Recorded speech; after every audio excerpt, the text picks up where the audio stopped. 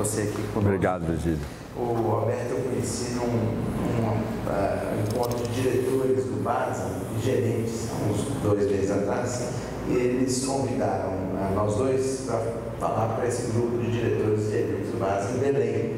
E eu falei sobre sustentabilidade, meio ambiente, etc. E o Roberto sobre esse temário de é, felicidade, bem-estar, sucesso, amor e, enfim, são esses temas que ele também maneja. E aí, depois dessa sessão, nós fomos almoçar e sentamos um lado do outro, a conversar e eu falei, pô, que se envolver com a Amazônia. Né? E, e parte da, da, história dele, que vocês vão ouvir, é que as pessoas têm que ter uma causa, um propósito. Então, qual é o seu propósito? Você não está querendo um propósito de abraçar a Amazônia? Então, ah, eu estou. Então, beleza, então vamos para o mato juntos. E aí, dali que surgiu essa ideia. É verdade. De uma, uma enorme tentativa que a Isa fez em Dias e Vidas. Essa Isa é maravilhosa é, mesmo. Dele, o meu, uma hora ele podia, outra hora não podia, não, tem que ser, a gente tem que acertar. E aí, por fim, deu certo. E, e aí, o Roberto está aqui, vai ser uma jornada até domingo, e depois dessa fala aqui, a gente vai é, tomar banho no dentro, vai aprender o que é descer o rio de Bubuia. É, eu falei com ele que vai ser cobaia meu. Eu quero ver como é que ele vai se comportar diante de um spa uh, na floresta, que é uh, o, o, Rio Negro. E vamos ter a oportunidade de ter o, Nélito, que é nosso conselheiro uh, na FAS, nosso vice-presidente do conselho, mas mais do que isso, ele é velejador e músico. Além de Noras Vagas, você também um entomólogo assim, da primeira estima. Mas então a gente vai ter é, que beleza. de ter o, o Nélito conosco. E já vou revelando um segredo, não é bem um segredo, mas um, uma característica do Roberto, que ele, além dessas várias coisas que faz, ele, ele é um grande médico, pediatra, ele, ele, psiquiatra, é psiquiatra e outras coisas, mas ele é também músico. Então eu estou pensando aqui em fazer um dueto você. Bora.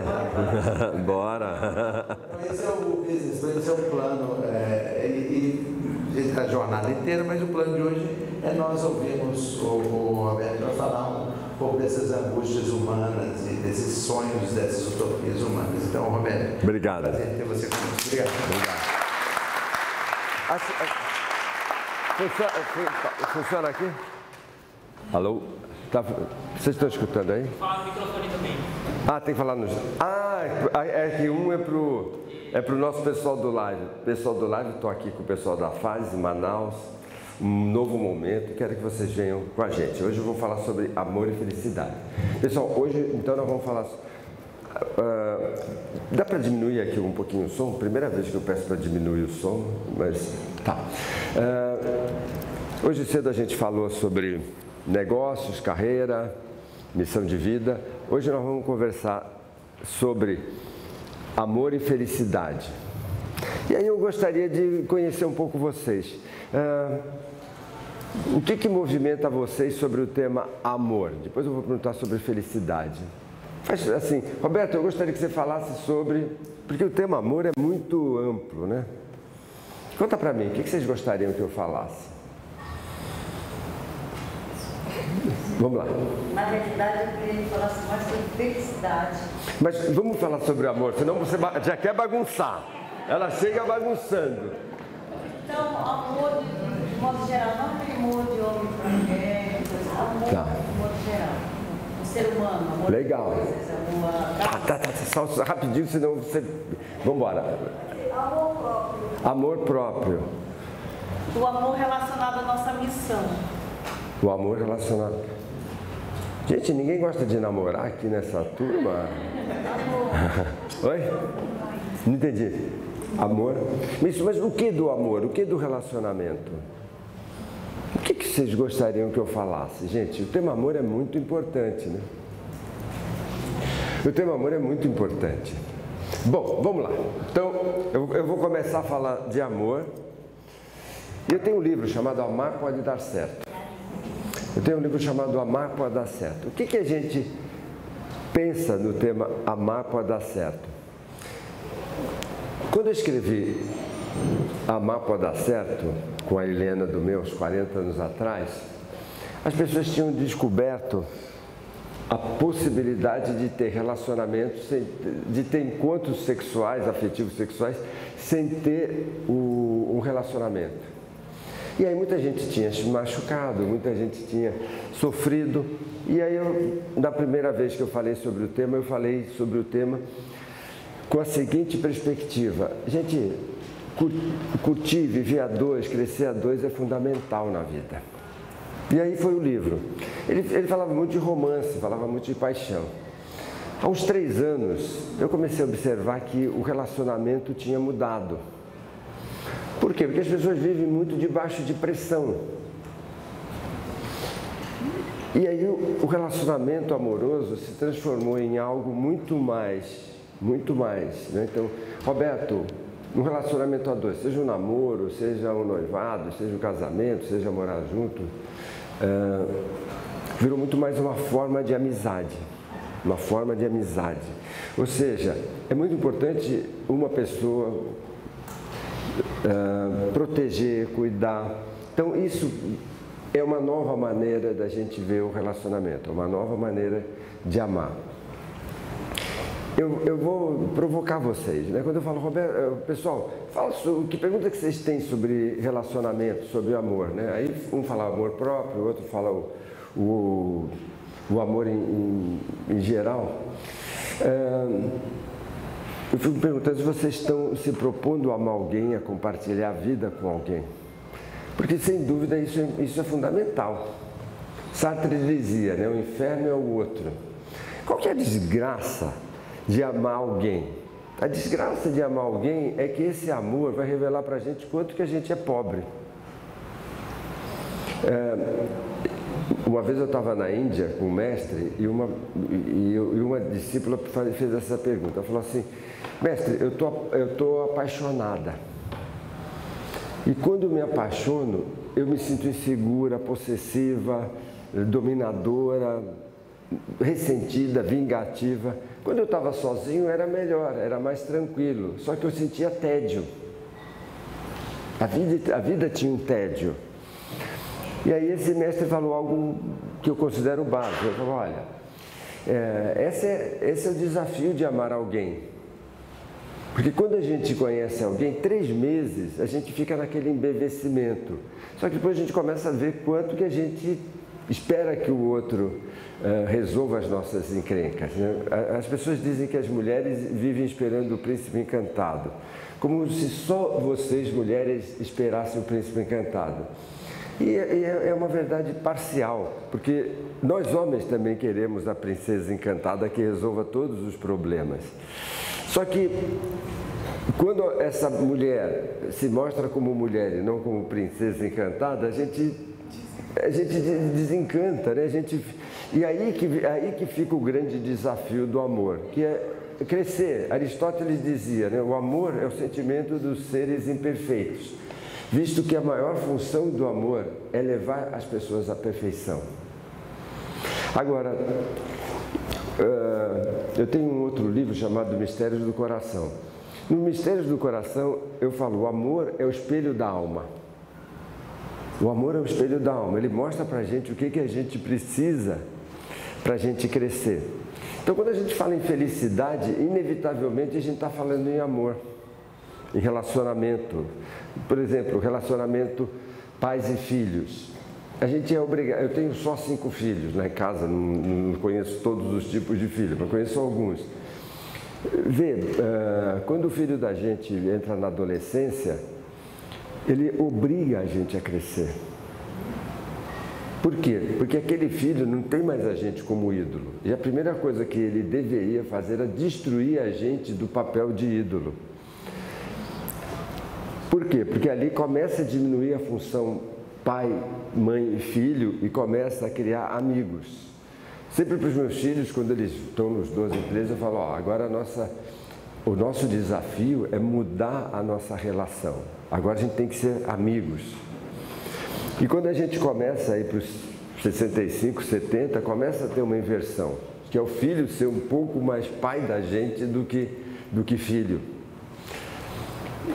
E, e tem pessoas que não conseguem fazer essa passagem. Para a gente pensar em felicidade, a gente tem que pensar em relacionamento. Senão a gente vai viver sempre fugindo, sempre querendo se esconder. Quanto mais a gente tenta se esconder, mais a gente fica travado, mais a gente fica ah, assustado. Né? Quando a gente pensa, quando a gente pensa na motivação, e aí falando de todos os relacionamentos, a maior parte das conversas em relacionamentos, seja profissional, seja afetivo, seja de amizade, quais são os dois temas? Os dois temas são sobrevivência e poder. Puxa, mas a minha amiga gritou comigo. Por que, que ela gritou? Por uma dessas razões. Ou você ameaçou a sobrevivência dela, ou você ameaçou o poder dela. Pô, Roberto, minha mãe gritou comigo. Por quê? Ou o poder sobre você ou a sobrevivência dela. Roberto, o meu chefe não me deixa crescer. Por que, que ele não me deixa crescer? Por causa que ele tem medo da sobrevivência, quer manter o emprego e ele quer ter o poder dentro da empresa. Essa é uma das das percepções mais delicadas da vida. O que, que é sobre poder? O que, que, é, o que, que é sobre sobrevivência? Eu, eu procuro trabalhar com as pessoas que trabalham comigo muito assim, deixa o poder para ele, deixa o poder para ele. A pessoa que é o poder entrega o poder. Quando a gente está falando de negociação comercial, deixa ele ficar com o poder, pega o dinheiro para nós. ah, né, então, por exemplo, você está negociando uma venda e o outro quer ter poder. Ele quer terminar e falar assim: eu venci. Fica com o poder, me dá o dinheiro. Quando a pessoa é insegura, ela precisa ter o poder. Então você vê que está na negociação, ele fala assim: é, dessa vez você ganhou, eu dei o desconto, mas da próxima, para que isso? Você está precisando de poder, para quê? Eu vou contar um segredo para vocês. Ah, eu raramente comemoro, raramente comemoro o livro na lista dos mais vendidos. Raramente. Eu não me lembro muito de ter comemorado assim, mais que, mais que um, uma mordida no sorvete. Por quê? Todo dia quando eu vou escrever, eu estou trabalhando no livro novo, eu rezo. Eu falo, Senhor, me ajuda a escrever alguma coisa que ajude as pessoas. Então, putz, se Deus está me inspirando, eu não posso comemorar, o meu livro está na lista dos mais vendidos. Mas quando a Veja detona, eu também não sofro, porque eu falo, cara, o livro é teu, estou detonando o teu livro. Faz alguma coisa se você achar importante. Quando a gente fica nessa tripe de poder, principalmente na, na relação afetiva, a gente começa a ficar escravo. A gente quer dominar alguma coisa. Né? E, e as pessoas acham que dominam alguma coisa. Ah, meu filho, meu filho. Gente, é uma pena se você domina seu filho. É uma pena para o seu filho. O filho que, que, que é treinado sempre dizer sim, na hora que rola coca na festa, e eu não estou falando de Coca-Cola, ele não consegue dizer não. Por quê? Porque ele não tem a força. E é muito importante a gente abrir mão do poder e a gente saber que a gente não trabalha para sobreviver. A gente não se relaciona com alguém para sobreviver. A gente trabalha pela missão de vida da gente, a gente trabalha pelo propósito. E vê, eu, eu não sou um exemplo de cara que não deu certo. Com essa atitude, eu já vendi mais de 8 milhões de exemplares. Mas eu não vou brigar por conta disso. Eu vou fazer o que eu tenho que fazer, o que eu acredito. Oh, obrigado. Eu vou fazer o que eu acredito, vou fazer o que é importante. E a partir daí, as coisas começam a funcionar. Vê, quando você está com seu marido e você precisa que ele peça desculpa, que ele. Pega isso, você quer poder? Pega o poder. Eu não, eu não preciso do poder. Eu tenho o poder de estar presente. E às vezes, por causa de um. A culpa é sua, a culpa é sua, a culpa é sua, a gente faz uma destruição da nossa alma desnecessária. Diz que me ama. Diz, né, a maior parte dos relacionamentos afetivos que eu vejo são relacionamentos de, de mendigos, né? de, de pedintes. Diz que me ama, diz que me ama, diz que me ama. É legal falar eu te amo, mas ah, tem um, o, a língua japonesa não, não tinha duas palavras que são importantes para nós. Uma é eu te amo e a outra é não. Quando você perguntava para Então, eu, eu, trabalho no Japão, né? Então, quando eu faço palestra para empresas japonesas, eles mandam um tradutor. E é complicado, porque às vezes o presidente fala assim: vamos jantar? E eu não, eu não janto, né? Então, aí eu falo: não. O tradutor fica meia hora traduzindo. Ele fica, e eu assim, no começo eu ficava preocupado, né? Eu ficava preocupado, assim, o que, que o cara está falando, né? Aí, aí eu falei assim, pô, eu falei não. Ele falou assim, é, para falar esse não, se arrumar encrenca, eu preciso explicar tudo, né? E aí você perguntava para o japonês, para o velhinho, falava assim, por que, que você não fala eu te amo? Ponto, vou abrir um, um comentário. Eu acho super importante falar eu te amo. Eu acho obrigatório falar eu te amo. Mas só estou contando uma outra percepção. Por que, que você não fala eu te amo? Aí o japonês fala assim: eu te amo é algo tão concreto que nem uma árvore. Se o sujeito não vê uma árvore, não adianta você falar que tem uma árvore. E não. Não é aquilo que você pede duas vezes e a pessoa não faz. Quantas vezes teu marido, teu namorado fala não e você precisa que ele grite na sua orelha que ele está falando não.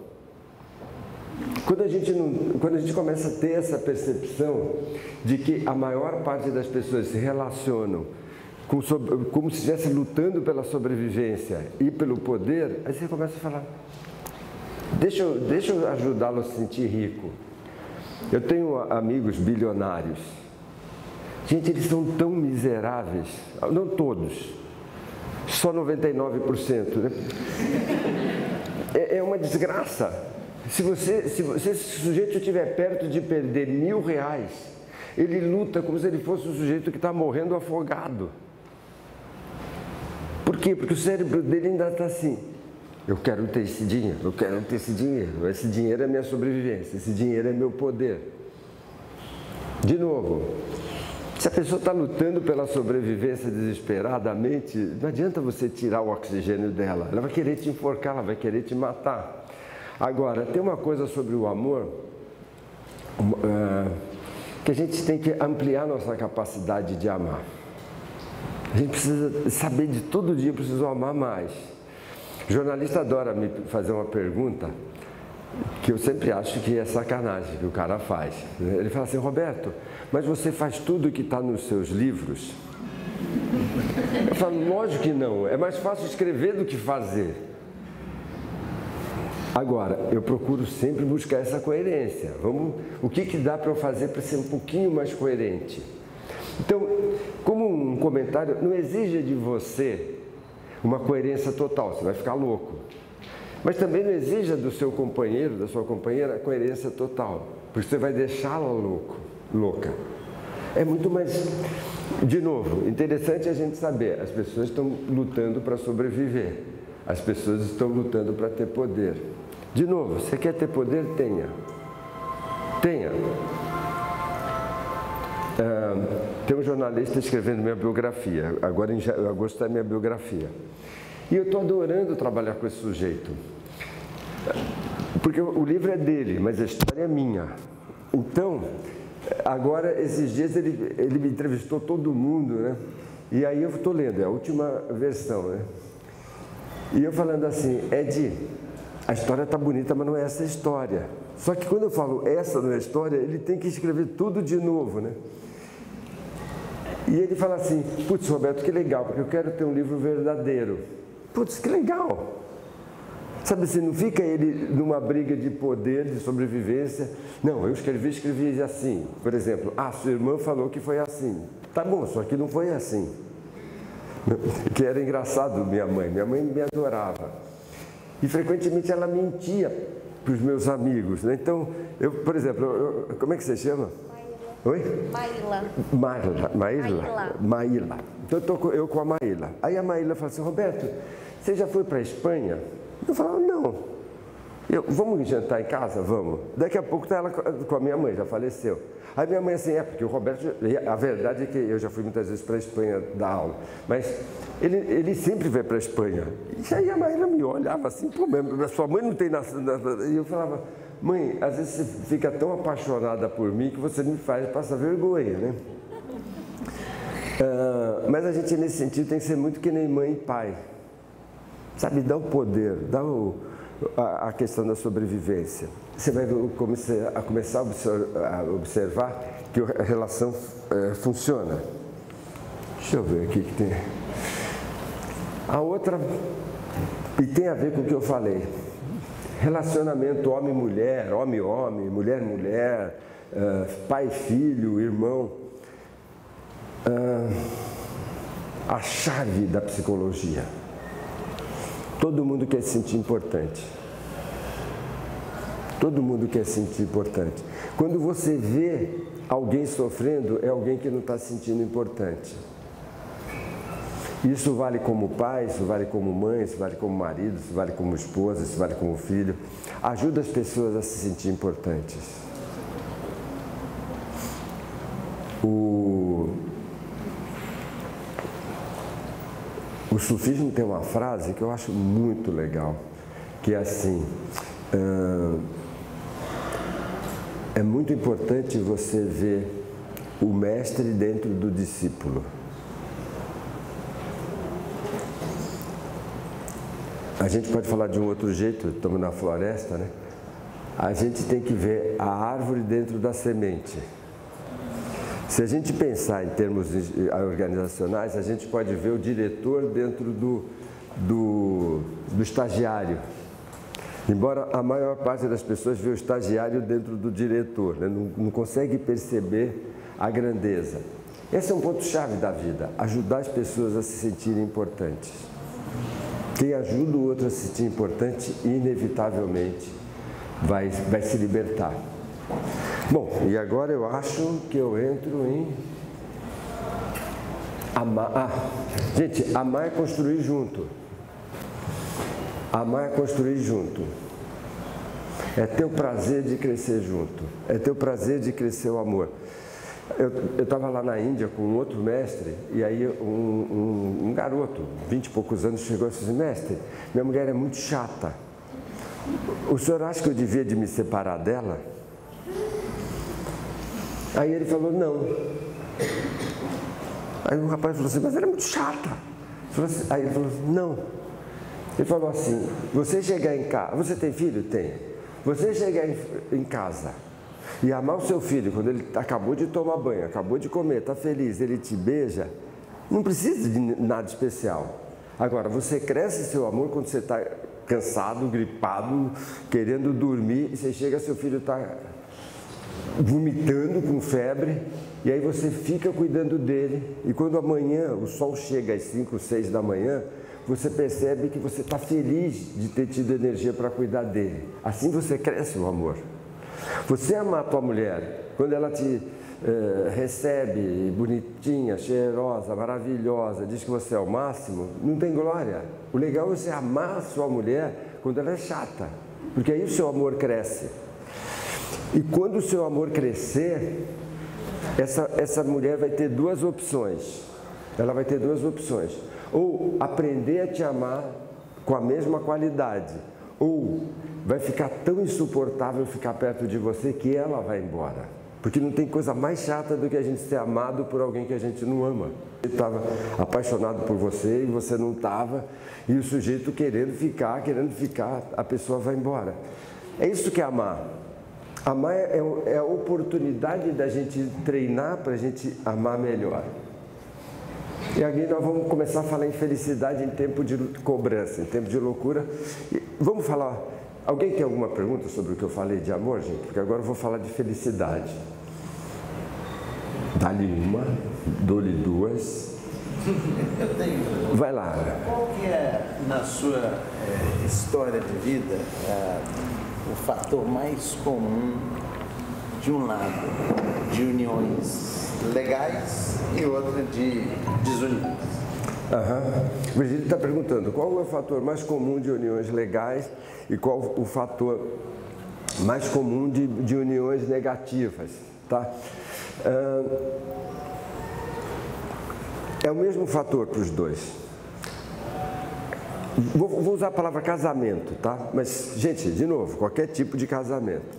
Casamento dá certo com quem não precisa de casamento. Casamento não dá certo com quem precisa desesperadamente de um casamento. Toda vez que eu vejo um casal legal, eu vejo que os dois funcionam juntos ou separados.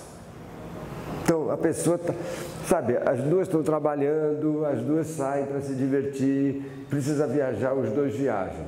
Quando um dos dois, e geralmente são os dois, ai, eu preciso de você, ai, sem você eu não sei viver ali começa a ficar um, um, relacionamento de carências, não é um relacionamento de abundância. Porque a gente tem que entender um lance. Amor, possessividade, insegurança, só tem uma coisa em comum. O que, que tem em comum? A forma. Mas a essência é diferente. É como uma flor natural e uma flor de plástico. A flor natural e a flor de plástico, eles só têm em comum uma coisa, a forma a essência não é a mesma. O amor natural ele nasce da abundância, a flor natural. A flor de plástico nasce da miséria. E por isso que é muito importante a gente estar tá atento para a essência. Uma coisa é você sentir necessidade, carência de uma pessoa, a outra é você sentir saudade. São coisas muito diferentes. E quanto mais atento a gente tiver para essas, para essas duas origens, mais a gente tem que estar é, tá atento para isso. Para mim, essa, essa é. Eu, né, eu, eu, eu, sou do tempo que, que eu sou do tempo que existia carta, né? Eu, eu, quando o Amar para Dar Certo fez sucesso, é, era carta, 40 anos atrás, né? Eu sou do tempo que o verbo trepar significava subir numa árvore.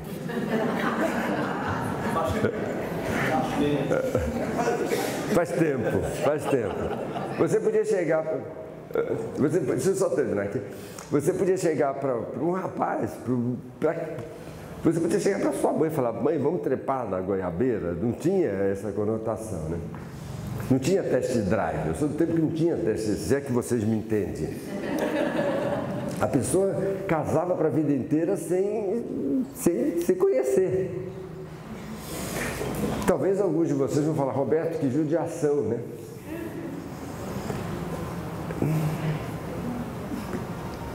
Para os mais jovens, eu preciso dar um testemunho. Gente, vocês não imaginam a loucura que era beijo na boca. Gente, beijo na boca era um negócio. Quando a gente beijava uma garota, que era uma namorada, você tinha que estar namorando, não, não é essa zona que é hoje. Tinha, né? Por exemplo, você ia num baile para tirar a moça para dançar. Alguém é do tempo de baile, baile com mesa no salão, essas coisas? Você, você é? Não, você não é. Não estou dizendo baile. Sabe, antigamente tinha uns negócios que se chamava baile. Baile. Tinha, tinha, uma, tinha uma mesa. Tinha mesa. Aí você tinha que atravessar o, a, a, o salão todo para tirar a menina para dançar. Gente, era aterrorizador. Por quê? Porque a menina que era valorizada era que dava tábua de nós. Então ficava aqui. Agora, quando a gente dava um beijo na boca, meu Deus, era o máximo. Era o máximo, era um negócio assim. Não vou entrar em outros detalhes, mas era algo assim. Era algo que você beijava, você ficava. Vê, tem músicas da época, o Roberto Carlos tinha uma música assim, aquele beijo que eu te dei. Nunca, nunca mais esquecerei. Gente, era um beijo. Eu sou amigo de um, de um do Vitor e Léo, lá da, da, da sertaneja, da, da, dupla sertaneja, né? E o Vitor fala uma coisa muito interessante, né? Ele, falava, ele fala assim, a gente tocava em barzinho, às vezes para cinco pessoas. Hoje a gente toca para 50 mil pessoas. Aí ele fala assim, mas a felicidade é igual. Nunca tem a pena de um cara que está fazendo o que ama, mesmo que não esteja ganhando uma tonelada de dinheiro. Eu acho a mesma coisa. Se precisar, eu, eu, adoro fazer palestra para 20 mil, 50, estádio de futebol, eu acho super legal. Mas, vê, quando a gente está falando de amor, a gente está falando de essência, a gente está falando de encontro, a gente está falando de surpresa da vida, a gente está falando assim, meu Deus, o que está acontecendo aqui? Mas a gente precisa, a, a, a, acho que. Vamos pegar outro? Obrigado, Virgínia. Mas a gente precisa estar preparado para a surpresa da vida. Eu hoje conversava com a Líria, né? Como que eu e Virgílio nos conhecemos? Foi uma das coisas mais loucas que a gente esteja aqui, que eu vou passar o final de semana com eles. Eu sou um sujeito muito bicho do mato, muito bicho do mato. Muito, muito. Eu escolho, ainda mais agora, depois que você faz sucesso, você, você fica, depois você vai ficando velho, você fica mais seletivo. Então eu geralmente odeio almoço de negócio. Sabe o que é odiar? Eu odeio. Eu gosto muito assim, duas pessoas, eu adoro duas pessoas, mas eu, eu não gosto. Aí eu, fui, eu era o palestrante daquele evento. O que, que eu, eu cheguei uma e meia da tarde, mais ou menos, eu assim, doidão para pedir o, o, o, almoço no quarto. Só que o diretor que tinha me contratado, acertado, falou assim, Roberto, já separei seu lugar na mesa do conselho do, do banco. Eu, putz, sei lá, quatro horas de viagem, vou, falei, putz, vou ter que aguentar aqueles caras falando de negócio. Vou eu e sento. Sento do lado de quem? Dessa figura. Aí a gente começa a comer e ele começa a falar de sustentabilidade, de uh, castanheira. Eu falei, meu Deus, eu acho que eu acho que eu bebi alguma coisa no cérebro, porque era, era suposto ser chato. Aí a gente começa a conversar, eu falo, ô Virgílio, não sei o quê, ô Roberto, não sei o quê. Aí tinha um outro, eu não lembro, que era um vice-presidente que também era um sujeito super legal. Era um jeito, aí ficamos nós três lá, e o pessoal falando de estratégia do banco, o que, que ia fazer no banco. De vez em quando nós três falamos assim, peraí, vamos conversar com eles, que a gente está aqui para falar com eles. Ah, não, tem que investir, fazer isso aqui no futuro, não sei o quê. Gente, se você não está aberto para a surpresa da vida, putz, não acontece nada. É assim que é no amor. Sabe assim, você está andando na rua, daqui a pouco, plum, Vê, três minutos decide uma vida. Três minutos, como, como que isso aconteceu? Era assim que era para acontecer. Bom, vamos falar de felicidade que vocês. Ah, é, vai lá, desculpa, Isa. Eu queria que você falasse o que você acredita ou o que você pensa sobre alma gêmea e amor à primeira vista. Eu acredito em amor à primeira vista. E eu acredito em alma gêmea. Inclusive, eu estudei isso. Eu estudei alma gêmea.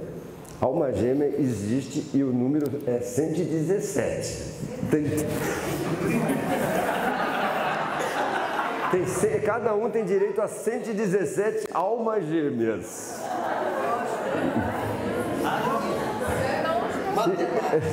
Não, é estudo. Isso é um estudo. A gente tem 117. Almas gêmeas. Almas gêmeas. É, é, é. Gente, a visão que nós temos de amor, infelizmente, é uma visão totalmente miserável, pobre, baseada no quê? No controle do dinheiro. Então, como que esse negócio começou? Começou com o sujeito falando assim. Uh, tô, a mulher está cuidando dos filhos e o sujeito está indo lá para as cruzadas. Ela fala, pô, o desgraçado vai pegar outra mulher, faz isso aqui. Aí o sujeito fala assim, eu estou sustentando essa vagabunda que não faz nada, preguiçosa, está lá em casa, agora ele vai sair com outro. Gente, não é essa dinâmica. E os jovens vêm vindo maravilhosamente assim. Vê, antigamente, como que era a história? E eu preciso dizer para vocês que estou muito feliz de falar sobre esse tema, porque faz muito tempo que eu não falo sobre esse tema. Vê, como é que fica junto com os jovens hoje? O jovem é o seguinte, está legal hoje, eu fico amanhã. Está legal amanhã, eu fico depois da manhã. Antigamente, como é que é? Eh, para eu transar com você, a gente precisa casar. Então, era só promessa, promessa, promessa. O amor mudou. Por isso que o pessoal, geralmente com mais de 40 anos, sofre. Por quê? Porque ele vive de promessa. E os jovens não. Por exemplo, a gente, nós trabalhávamos em empresa. E a gente sempre tinha promessas. Hoje o jovem assim, eu não estou feliz nessa empresa, vou embora. Por mais que a gente esteja falando que esses jovens são meio avoados, os jovens são maravilhosos, gente. Se você se não tiver legal, vou embora. Então, isso faz com que as pessoas procurem ficar legal. Não estou dizendo que alguém é perfeito nessa história, mas, mas é assim. Agora, é, é, é ruim o conceito de, de alma gêmea. É muito ruim. Porque você, a gente fica muito escravo de uma, de uma regra. Por isso que eu brinquei com isso. Sabe assim? O amor. O amor é um encontro de evolução. As pessoas querem, é que nem um hotel. A gente quer sempre encontrar um hotel cinco estrelas perfeito, maravilhoso, ótimo. Bom, o que, é o amor? O que, é o amor? O que, é o namoro, o casamento? São duas pessoas incompletas que se encontram e o hotel que elas formam é um hotel meia estrela. Só que eles vão trabalhando juntos e à medida que essas pessoas trabalham juntos, o hotel meia estrela virou hotel uma estrela, depois virou duas estrelas. Esse é o, é o barato da vida. Por mais que a gente gostaria de que alguma coisa estivesse pronta na vida, as coisas importantes a gente precisa construir. E a gente tem que ter o prazer de construir essas coisas. Tem uma carta do tarô. Alguém conhece tarô aqui? Tem uma carta do tarô maravilhosa, que é a base do meu livro novo, que é a carta número zero. Qual que é a carta número zero, quem lembra? o tolo, o louco. Qual que é essa carta? Essa carta é um sujeito, pode ser um homem, pode ser uma mulher. Agora começa a ter mais mulheres no louco, porque a, mulher também tem que fazer isso. Que está andando, só que é um abismo. Então você, o próximo passo seu pode ser um abismo. E tem um cachorro mordendo. Né? O que, que é um cachorro mordendo? É, é a racionalidade te avisando, você pode se arrebentar lá embaixo. Mas assim é a vida, a gente pode se arrebentar. Mas se arrebentar é glorioso, porque o pior problema que tem, o pior problema que tem é a gente continuar igual. Esse é o pior problema que a gente tem. Vamos falar um pouquinho de. Mais alguma pergunta sobre. Como vocês podem ver, eu adoro falar sobre esse tema. É, você, Roberto, você está falando sobre que a geração atual não ama mais como a sua geração. o que, que se vê? O que, que vai acontecer com o mundo? É interessante isso, né? Porque tem temas. Às vezes jornalista me pergunta assim, Roberto, quais vão ser os temas daqui a um século? Eu tenho certeza que eu sei. Relacionamento afetivo, relacionamento familiar, espiritualidade. Vê, não, eu não gosto de religião, eu sou católico, mas não gosto de, de nenhuma igreja. Todas as igrejas é a respeito de sobrevivência e poder. Mas espiritualidade é um negócio importante. Espiritualidade é um negócio importante. Vê, o, o relacionamento, ele tem, é, o relacionamento tem muito a ver com recrutamento e seleção. É, tem, tem, tem muito a ver com você escolher legal. Então, quando, por exemplo, você você vai contratar uma pessoa para o recursos humanos. Contrata bem. Contrata bem. Você vai ver que vai precisar de pouca gestão, administração, nada. Se você encontra um companheiro legal, se você encontra um companheiro legal que queira crescer com você, você vê que tudo flui. Tudo flui. Mas se você pega alguém que não tem a ver e fica insistindo, não adianta. É, é que nem garçom espanhol. Eu, eu, trabalhei muito na Espanha, né? Putz, garçom espanhol, acho que porque a comida espanhola é maravilhoso, ele odeia te, te dar comida. É uma encrenca, garçom espanhol. Então, contrate garçom japonês.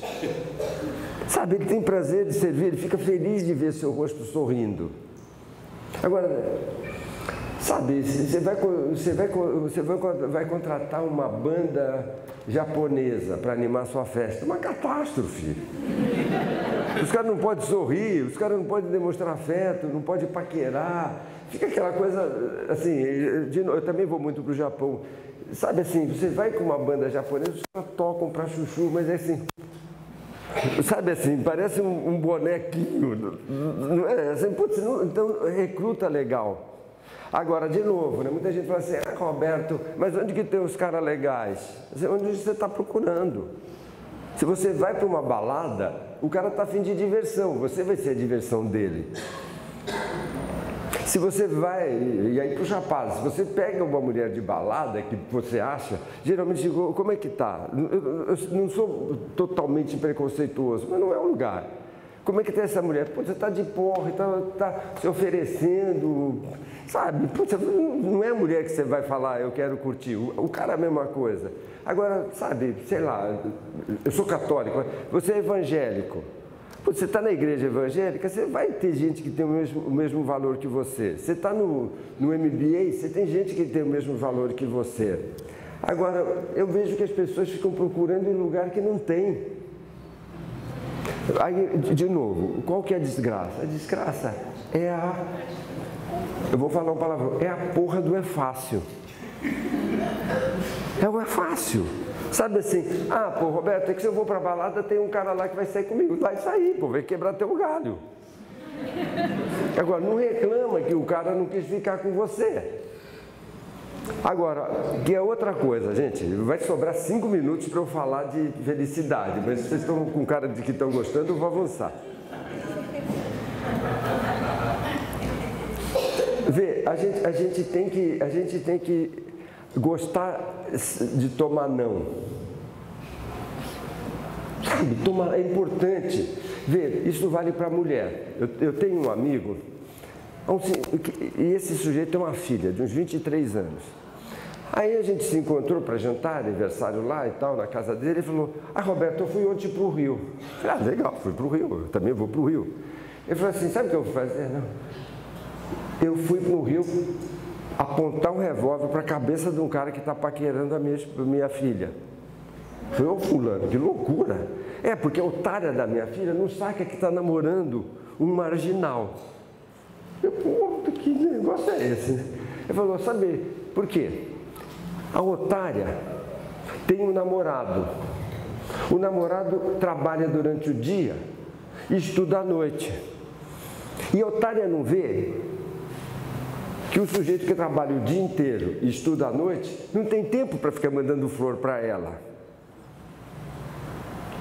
Aí, a otária que ele tá, imagina, o cara falou que foi com um revólver e apontou para Aí, a otária está de paquera com um cara sem vergonha, que é desempregado. Que é desempregado. Então, o cara não faz porra nenhuma o dia inteiro. Ele pega o celular e tem 10 namoradas e fica ligando para as 10. E as dez otárias falam, pô, como ele me ama. Não ama nada. O dia inteiro que eu vejo, toda vez que eu vejo o cara, ele ou cheirou, ele fumou. E, aí, e, ele, e a otária da minha filha está mandando o pé na bunda de um cara legal para ficar com um cara que fica ligando para ela. Agora, quantas vezes o desempregado sai com ela por semana? Uma vez, porque ele diz que é o culpado. O cara é desempregado, como que é o culpado? Isso é para puxar um tema para a mulher. Não estou dizendo todas as mulheres, não estou dizendo nenhuma de vocês, mas, gente, eu vejo muita mulher que adora cafajeste. Por quê? Porque o cara, o cara tem tempo para mandar flor. O, o, o, rapaz lá que está fazendo a pós-graduação, que está. Ele não vai ser o, o auge do romantismo. O sujeito, faz sentido isso que eu estou falando, né? faz muito. Gente, o, o, o cafajeste, não é isso, Rodrigo? O cafajeste, ele tem o dia inteiro. Então, por exemplo, esses dias eu estava falando com um sujeito que é um publicitário. E ele falando assim, Roberto, eu tenho, sei lá, 10, 20 mulheres. O que, que eu faço? Eu pego de manhã e já, já posto lá, no, já vou no Facebook, já vou com todas.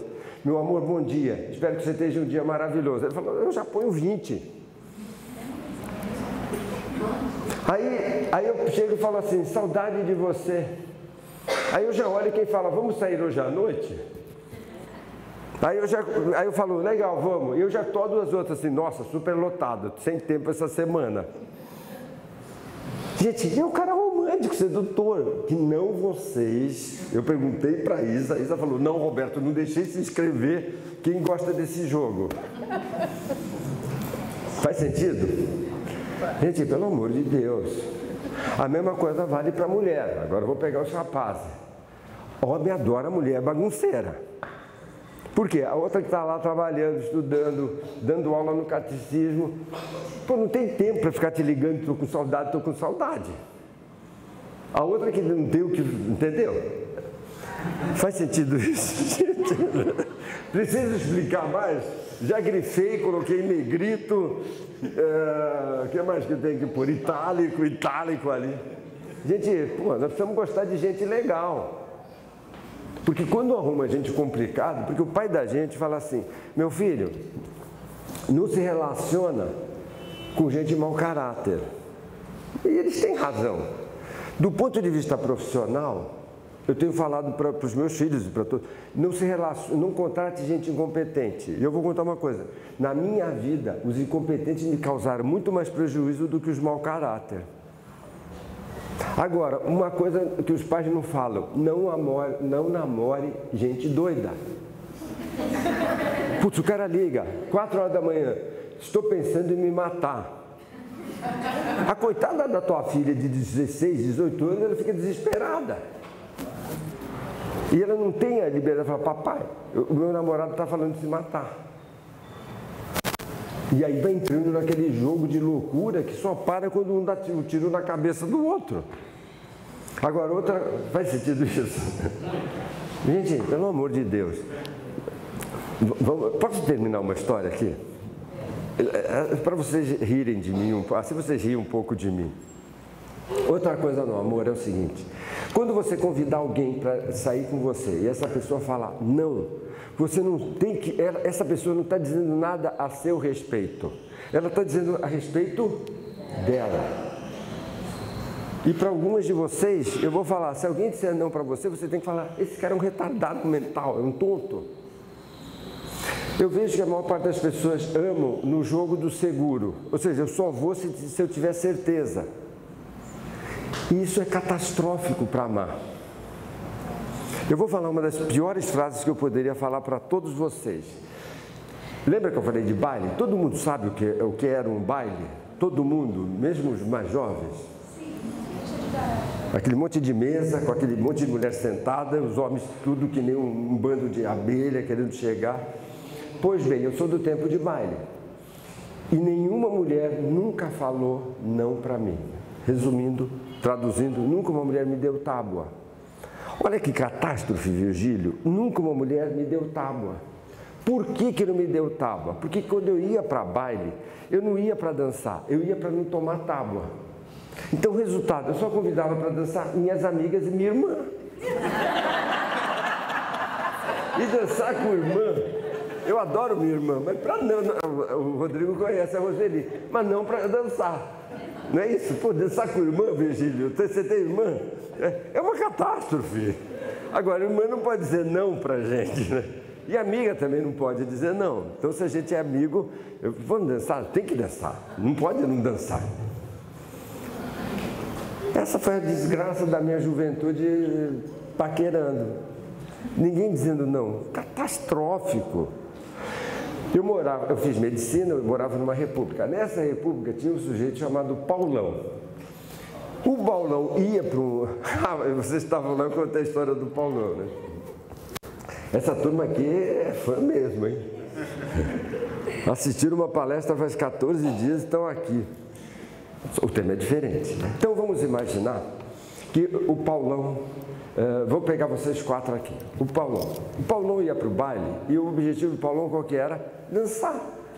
Ele não se preocupava com alguém dizer não. Então, começava a tocar música. O Paulão ia, como é que você chama? Nádia. Nádia. Ele chegava e falava assim: vamos dançar? Antigamente, 60, 70, 80% das mulheres diziam não. Por que, que diziam não? Porque a mulher que dizia não se valorizava. Arriscava muito, ninguém mais chamava no baile, mas tinha que falar não. Então a Nádia falava não. O Paulão se dava o trabalho de se sentir rejeitado, que nem eu tinha medo de me sentir, sim ou não? Não. Ele, começou, ele já chegava direto para Renato e assim, e você, você dança comigo? Se a primeira 70% das vezes dizia não, a segunda quantos por cento dizia não? 100%. Por quê? Eu não sou o resto? Não diz, ah, agora quer dançar comigo? Não é isso? Não.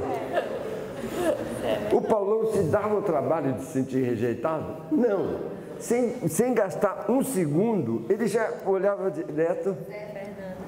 Ele olhava para a Fernanda e Fernanda, você dança comigo, né? E já fazia assim aquela carinha assim, você dança comigo, né? Aí já ligava o complexo materno das mulheres.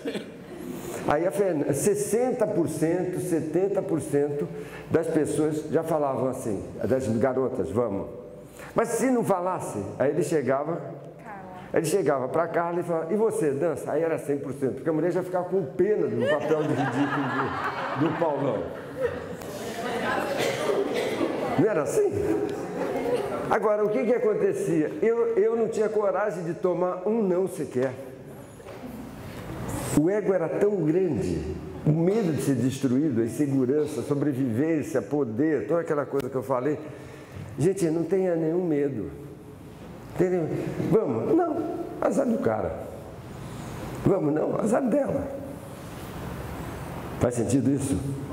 É, eu queria contar essa história que já estava embalada mas é, mas é mais ou menos parecido, né? Pergunta em cima disso, que a moça que perguntou. Você falou que acredita é, no, amor que é. Alma gêmea? A primeira que é aquela primeira pergunta lá que a moça fez também. É, alma gêmea. Então eu pergunto também, nessa difusão toda de sentimento, essa facilidade que tem, eu te amo, eu te amo, embora para dizer que me amo, é, você, Roberto, acredita nessa questão de que os, os opostos se atrapalham nessa discussão toda? Vê, eu geralmente, também eu estudei isso, as paixões nascem entre os opostos. Então, por exemplo, você é uma pessoa organizada, analítica, metódica. Você vai tender a se apaixonar. Estou morrendo de vontade de falar com quem que você se apaixona, apaixonaria, apaixonaria, que seria uma pessoa emocional. Vou ficar quieto, vou ficar quieto. Então, vou ficar quieto. Chega, Roberto, chega, já falou muito. Você vai tender a, a, a, a, se apaixonar por uma mulher emocional. Por quê? Porque ela vai trazer vida, ela vai trazer paixão. Como é que você chama? Erivaldo. Como? Erivaldo. Erivaldo. Ele vai falar, Erivaldo, vai ter um jogo do Corinthians, vamos lá. Erivaldo, vai ter uma festa. E o Erivaldo vai falar, pô, legal, ela é apaixonante. E, e ela vai falar assim, nossa, ele é tão sábio, ele é tão sensato, ele é ponderado. Nossa, ia falar para ia chegar para a irmã, Isa, nossa, como ele é sensato, como é... só que isso, depois de três meses já virou, porra, o cara é paradão, porra, o cara é molão, porra. Foram, por quê? Porque você quer ser analítico, então a, a pessoa emocional vai te cansar muito rapidamente, você vai falar tchau. Você vai ficar com a pessoa mais analítica, mas depois de seis meses você vai falar assim, Ai, não tem, não é gostoso beijo na boca, não é gostoso passada de mão, não é gostoso. Não é isso mesmo? É assim.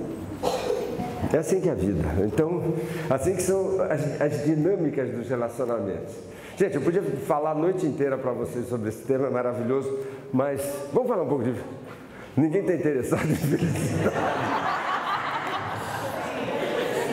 Seus bagos.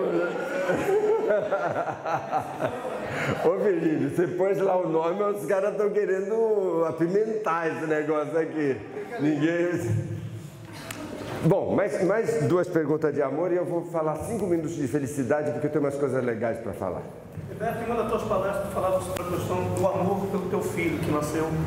E eu fiquei uh, atento a essa palestra e no final eu cheguei: amor não é só sentimento. Ele também é decisão? Amor, gente, então vamos falar de amor, já que vocês perguntaram, o que é amor? Amor não é só um sentimento, amor é um jeito de tratar a pessoa que você diz que ama.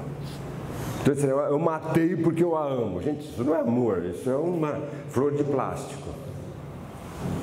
O amor sempre faz a gente crescer, por definição. Quando você, e eu olho aqui, eu, infeliz, vou falar uma coisa triste para vocês. 60, talvez 70% de vocês que estão aqui estão totalmente fechados para o amor. Estão virando espirituais. Gente, não vire espiritual se você tem medo de amar. Eu, eu, eu, eu fui muitas vezes para a Índia com os mestres, né? e tinha um mestre que eu gostava muito chamado Osho. E às vezes a pessoa de 23 anos fala assim, Osho, eu estou aqui porque eu, eu abandonei o mundo mundano. Eu abandonei a universidade, abandonei o sexo, abandonei... Aí hoje fala assim, volta para lá, você não abandonou nada. Você está aqui porque você está com medo de amar. Você está aqui porque você está com medo de fracassar. E enquanto você não resolver essas questões do, do ego, não adianta. Eu vou dar uma sugestão para vocês, gente. Precisa namorar. Não tem saída sem namorar. Não tem saída, gente. Porque, vê, uma coisa é você buscar o, o, a espiritualidade como uma busca espiritual. Uma coisa é você se uh, esconder nessa busca espiritual. Porque não tem risco. Ninguém vai falar não, ninguém vai você é um chato, ninguém vai falar você está me atazanando. Então eu vou, vou deixar uma bola para vocês, tem que buscar. Tem que buscar. Por mais que a gente se sinta inseguro, por mais que a gente esteja desiludido, precisa, precisa buscar. Precisa buscar. E se eu pudesse, não sei se você está com alguém, não está, eu ia falar, arruma uma pessoa bem emocional, que queira dançar rumba, que queira dançar, que queira encher a cara, né? Lembra quando você namorou aquela que enchia a cara, que você falou, meu Deus, ela me faz passar vergonha. Aí você, para que você quer ter uma imagem tão pura, tão limpa? Não, gente, não usa nada disso. Tá bom? Agora, as emocionais. Arruma, arruma um sujeito. Como é, é Erivaldo? Que tipo Erivaldo? Ah, olha, que, olha que palestrante legal, Erivaldo. Olha, meu.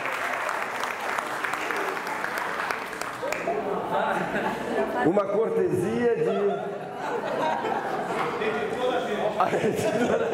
Uma cortesia de anúncios amorosos sob o patrocínio da FAS.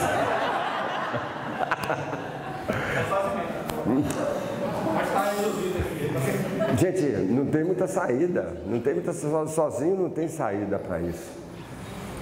Sozinho não tem saída. Então, por exemplo, ah, estou sem falar com meu filho há 10 anos. Há 10 anos você travou sua vida efetiva. Ah, eu, falo, eu não falo com meu pai há 20 anos. Há 20 anos você travou sua vida afetiva. Travou. Sabe o que é travar? Pegou, trancou, pegou a chave e jogou fora. Tem que ir lá falar, pai, perdão, pai, desculpa. Lembra que eu falei lá? Deixa o poder com o outro. Não estamos ameaçados. Deixa o poder, joga fora. Fala um pouquinho de felicidade, gente. Depois a gente. Gente, o, o, qual que é a desgraça? Qual que é a desgraça, né? Como que a gente vai ser feliz no mundo de pressão, de cobrança? Porque, vê, você ir lá para o meio da floresta e ser feliz, imagino, deve ser fácil. Agora, como é que é? O chefe cobrando, o trânsito. Vocês não têm. Embora hoje pegamos um trânsito, hein, Rodrigão? Kleber, cadê o não está aí. Então, putz, pegar um trânsito pesado, brá, como é, que, como é que é feliz nesse, nesse lugar? Como é que a gente é feliz? De novo, eu vou sugerir para vocês, não vão para o topo da montanha. No topo da montanha é fácil ser feliz. Agora, como é que é ser feliz nesse dia a dia, nesse lugar que a gente, que a gente vive? E aí que começa a ter graça esse jogo, né? Ser feliz no mundo de pressões. Quando a gente, quando a gente não entende o que está acontecendo, como muita gente vive hoje, é muito complicado ser feliz. Putz, Roberto, eu não consigo ser promovido. A minha empresa está sempre com problema de fluxo de caixa. Putz, eh, eu e meu filho estamos sempre brigando. Eh, a gente vive num mundo de corrupção. Por quê? Porque quando a gente não entende, a gente vai, vai ficar confuso, impotente e com irritação permanente. Faz sentido isso? Né? Esse mundo que começa a funcionar. Funciona desse jeito. Eu estou sempre estressado, estou sempre preocupado, não sei como é que funciona. Então, falando um pouquinho de, de felicidade, né? O que, que é felicidade? O que, que é felicidade? Alguém me ensina? O que, que é felicidade? Sentir prazer. Sentir prazer. O que, é felicidade? É um estado de contentamento. Um estado de contentamento, legal. O que, é felicidade? Oi? Eu adoro essa. Eu vou, eu vou dar o livro para você de presente. Eu sempre gosto de, de dar. Obrigada. Vê, felicidade, felicidade é uma atitude. Felicidade é uma atitude. O que é mais que é felicidade? Uma decisão. Oi? Uma decisão. Muito importante uma decisão. História de, história de, de, de, mestres. Acho que as pessoas que leem meu livro sabem que eu adoro mestre, xamã. Hoje eu estava com o Virgílio, o Virgílio contou uma história de um centro de tratamento indígena. Aí, aí a, a, a, Lília falou assim, ah, eu conheço eles. Ah, vamos marcar. Eu fui lá, já fui na hora, né? Não é isso? A gente já foi na hora, foi na fila, ficamos lá esperando, né? Eu adoro essas histórias. E aí eu queria falar com o mestre na Índia. Queria falar com no Nepal. E, e, e, e, não sei se vocês sabem, o Nepal é longe para Chuchu, né? Você vai, pega um avião até Bombaí, depois vai para Katmandu, depois vai para não sei aonde. E fui eu lá falar com o mestre. Aí cheguei lá no lugar X e falei, ó, o mestre vai te receber amanhã cedo, sei lá, 9 horas da manhã. O que, que eu fiz? Cheguei às 8. Cheguei às oito, né? Não vou perder chance. De repente o mestre está livre às oito, tem mais uma hora comigo, vou ficar com o mestre lá. Estou eu, tô eu sentado. Hein? Aí estou eu sentado às nove horas, foi a... chega uma morena, assim, uma morena, uma mulher bonita, uns 30 anos, e ela follow me, né? Siga-me. Saiu, saiu eu lá follow usando a moça. Aí eu assim, nossa, que mulher bonita, né? Aí fomos, fomos, aí chegamos numa sala. Ela sentou numa almofada, pegou outra almofada, pôs e falou, para eu sentar. Aí eu comecei a ficar preocupado, né? Por quê? Porque todo mundo que tem mestre indiano, o que, que é o nepalês, tibetano, o que, que é? É um asiatiquinho com uns 80 anos de idade, cabelo branco, né? Aí eu falei assim, eu vim falar com o mestre. Meio sem graça, eu diria até frustrado, desapontado. Ela falou, eu sou o mestre. Aí eu falei, tá de sacanagem. Tá de sacanagem. Se fosse para um outro barato, eu, eu até adoraria, mas não para a minha mestre que vai me ajudar a me iluminar até a compreensão total da vida, da existência, né? Aí ela falou: faça a sua pergunta. Aí eu falei assim, eu vou fazer uma pergunta bem difícil para ela chamar o mestre de verdade, porque ela não vai resistir à minha sabedoria e vai chamar o mestre. Né? Aí eu falei assim, por que, que as pessoas são infelizes? Aí ela olhou assim e respondeu sem pensar. Ela falou assim, porque as pessoas são ignorantes. Aí eu falei, ignorantes? Ignorantes do quê? da essência da vida. Falei, nossa, até que a morena aqui está entendendo alguma coisa, né? Aí eu falei, qual é a essência da vida?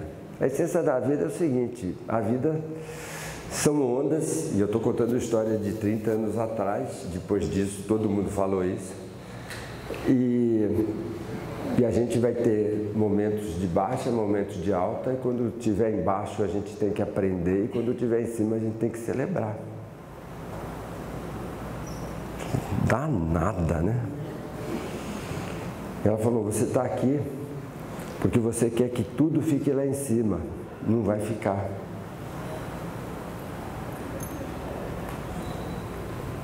Tá bom, tá bom. Fiquei cinco minutos com a Mary. Voltei, voltei. Vê. E aí eu quero fazer uns comentários. Até eu tenho um livro que vendeu mais de um milhão e meio chamado Sucesso Ser Feliz. Muita gente acha que a felicidade é prazer. Felicidade não é prazer. Tem prazer, mas não é prazer. Por querer a vida de prazeres é que vende tanta droga. Porque quando a gente cai, a pessoa cai. Ela vai para o álcool, vai para a droga, vai para o sexo, vai para a comida. Por quê? Porque ela não aguenta ali embaixo. É muito importante a parte de baixo. Porque é na parte de baixo que a gente reflete, que a gente evolui. E, e, é importante que a gente tenha uma atitude de aprendiz quando as coisas não estão dando certo. Eu brinco eu digo que lá em casa ninguém erra. Ninguém nunca erra. A gente sempre está aprendendo. O que, que sempre está aprendendo? Sempre está aprendendo com erro. Se, se você errar e travar, você ficou miserável. A gente fica miserável. Mas se você errar e aprender, Aí a gente começa a crescer. Então, é, é muito o que ela falou, é uma atitude, mas é principalmente a possibilidade de seguir o fluxo.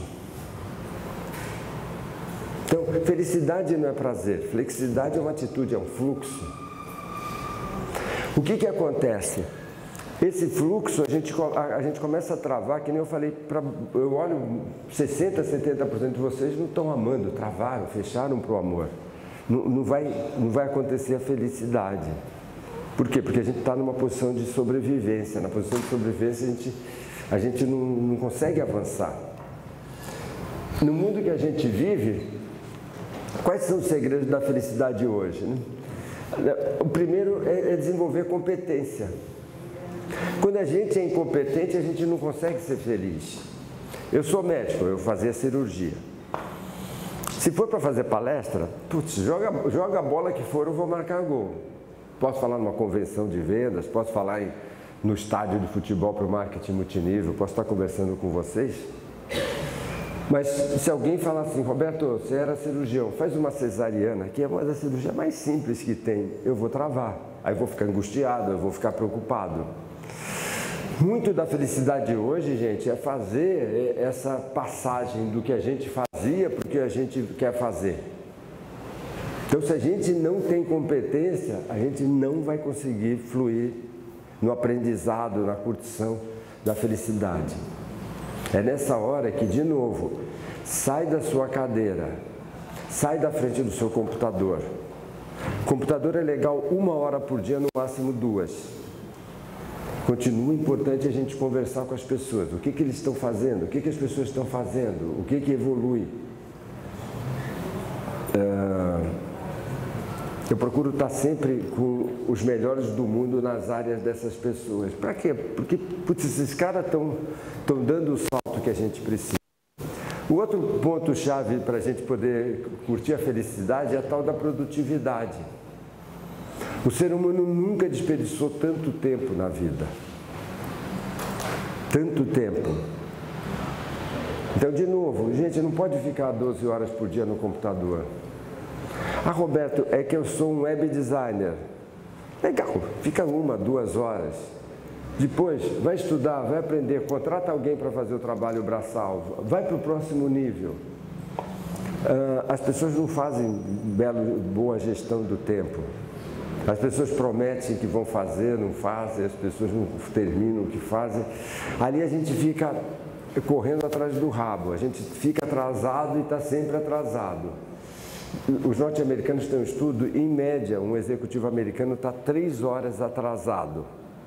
Imagina, um cara está três, três horas, três meses atrasado. Como uma pessoa consegue ser feliz se ela está. Ela, vê, se parar tudo que está entrando, ela, ela vai levar três meses para colocar tudo em dia. Não, não, tem felicidade sem, sem uma gestão do tempo. E aí tem um monte de coisas para vocês fazerem sobre gestão do tempo. Né? O outro ponto-chave, gente, é entrega a Deus. Entrega a Deus. É... Vai dar certo, vai dar errado, apesar da gente se matar, estudar, trabalhar, vai dar, muita coisa vai dar errado. E em vez de se culpar, fala, Deus, se prepara melhor a próxima vez para você me ajudar com mais competência. Mas deixa, deixa Deus tomar conta. De novo, eu vou falar de uma coisa assim, eu tenho estado muito insatisfeito com as religiões. Né? Eu adoro os meus amigos islâmicos. Agora, o islamismo faz essa bagunça. Por quê? Porque é sobrevivência e poder. É sobreviver. Gente, os evangélicos, a mesma coisa, os católicos, os judeus. Uh, mas Deus, para falar com Deus, a gente não precisa de telefonista. A gente pega o telefone e liga e fala com ele direto. Não precisa de um sacerdote, de um pastor no meio da gente. Mas é importante a gente viver a real espiritualidade, né? a nossa capacidade de mergulhar, de estar lá. Uh, se vocês quiserem mandar um, um e-mail para mim, fazendo perguntas, eu posso mandar um e-book para vocês, posso mandar um presente para vocês.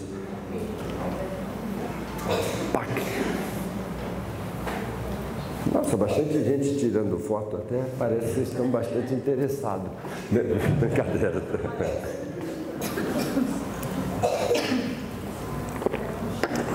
que significa essa imagem?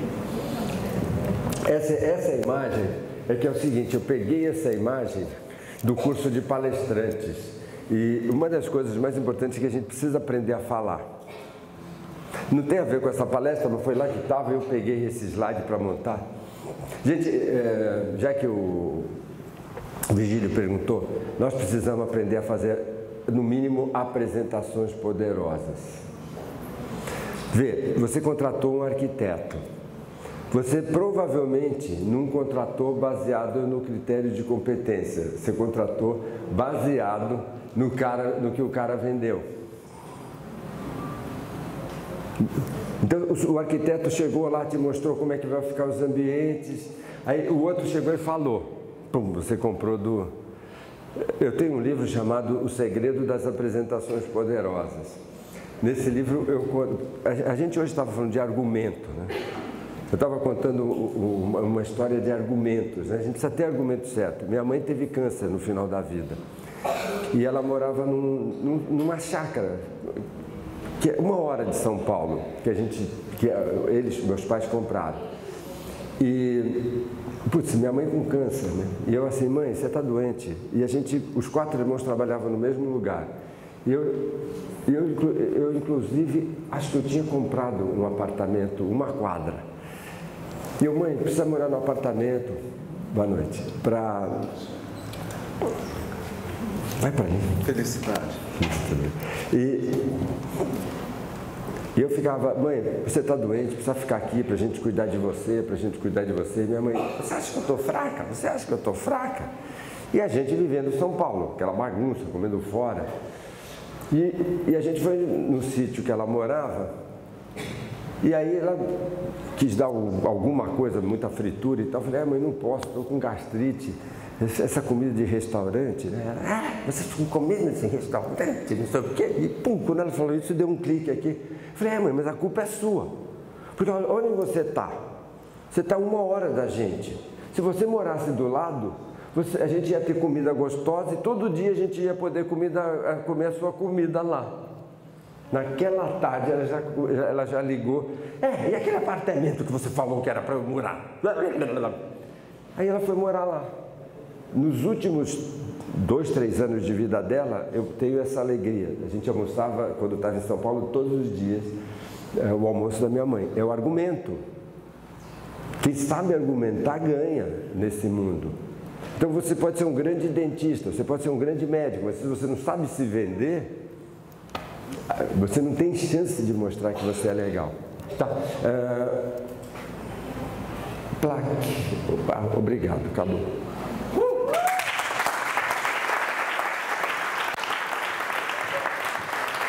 Tá, tá bom por hoje? Gente, obrigado, um prazer falar com vocês. Voltarei. Oxalá, oxalá seja a primeira de muitas Claro. amazônicas aqui e a gente tenha outras oportunidades. O Roberto foi super generoso ao compartilhar esse vídeo, né? É, da palestra de manhã cedo. Ah, sim, sim. E aí eu tive uma ideia. Manhã cedo a gente fez uma palestra, a grosso modo, parecida, mas com um público interno aqui da fundação. Aí me ocorreu uma coisa interessante que eu vou compartilhar com vocês também. Vai estar disponível, Filipinho ali, que é o nosso chefe de comunicação, vai, vai mandar para todo mundo. Aí vocês poderiam assistir esse vídeo com seus é, amantes, amigos, namorados, familiares, enfim, quem, quem for, e discutir, porque acho que é uma coisa muito legal falar sobre isso. Né? Então fica essa, essa provocação, essa é, continuidade dessa conversa. E para ter uma continuidade também sem prejuízo dessa, a gente vai ter do lado de fora aqui um, um happy hourzinho, então com outros convidados, tem um fornecedor, quem que é esse? Da É o Fish Bite, que é um desses, é, que tem um perucozinho frito, não sei o que, dá uma cervejinha e a volta coisa a mais, eu não sei exatamente. Então vão todos convidados e saindo aqui à direita do lado de fora do espaço legal. Bem-vindos, boa noite. Uh!